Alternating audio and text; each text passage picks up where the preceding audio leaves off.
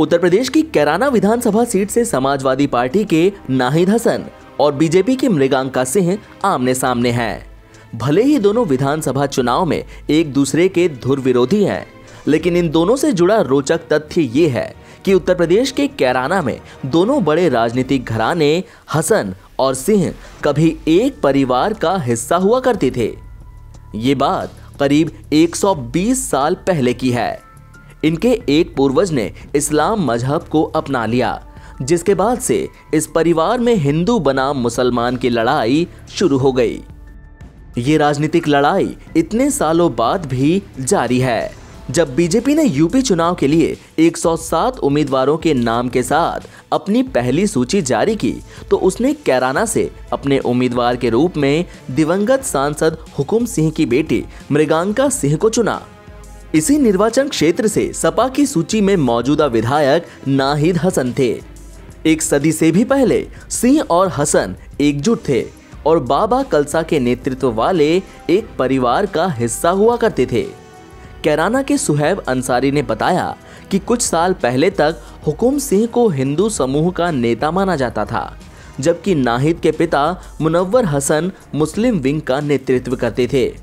साल 1990 के दशक की शुरुआत से कैराना ने इन दोनों परिवार के प्रतिनिधियों को राज्य विधानसभा और लोकसभा में भेजा। अब दोनों परिवारों के बीच लंबे समय से चली आ रही राजनीतिक प्रतिद्वंदिता अगली पीढ़ी तक पहुँच गई है। समय समय पर क्षेत्र में यह चर्चा ज़ोर पकड़ रही है कि दोनों ही परिवारों में रक्त का संबंध भी रहा है। इस संबंध में दोनों ही परिवारों के लोगों से बात की गई। लेकिन इसकी कहीं भी पुष्टि नहीं हुई कि दोनों ही परिवारों के बीच कभी रक्त संबंध रहा हो। मुनव्वर हसन के बेटे नाहिद ने साल 2017 के राज्य चुनावों में हुकुम सिंह की बेटी मृगांका को हराया था। फिर मुनव्वर हसन की विधवा तबस्सुम हसन ने साल 2018 के लोकसभा चुनावों में मृगांका पर जीत हासिल की। शनिवार को एक नाटकीय मोड़ आया, जिसमें सपा, रालोद गठबंधन के उम्मीदवार और वर्तमान विधायक नाहिद हसन को पुलिस ने गिरफ़्तार कर लिया। पुलिस ने नाहिद हसन को कोर्ट में पेश किया। इसके बाद 14 दिन की न्यायिक हिरासत में लेकर जेल भेज दिया।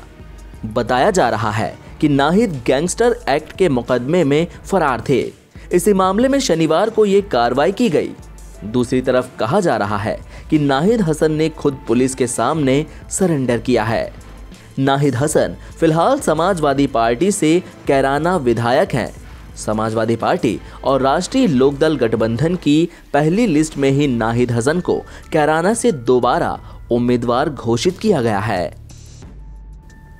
एनबीटी ऑनलाइन की रिपोर्ट।